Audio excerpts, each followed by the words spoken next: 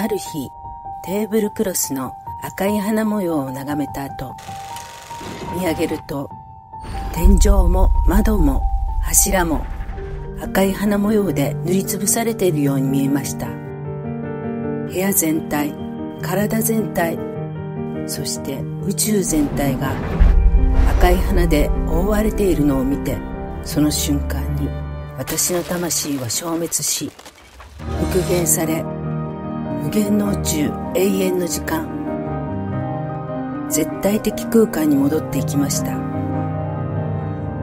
私は魂の深淵を見て衝撃を受けました。